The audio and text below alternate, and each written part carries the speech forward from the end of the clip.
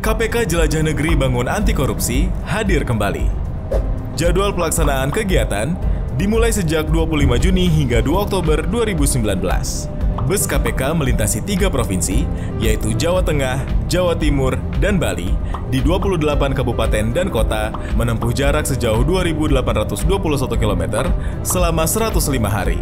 Agenda kegiatan anti korupsi di setiap daerah dikemas menarik dan bisa diikuti oleh banyak pihak, di antaranya pelajar, mahasiswa, politisi, pengusaha, pemerintah daerah, organisasi, dan seluruh lapisan masyarakat.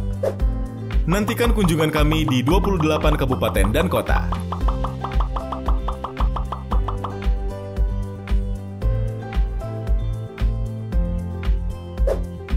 Info lebih lanjut dapat dilihat pada link berikut. Bersama KPK, Jelajah Negeri Bangun Anti Korupsi.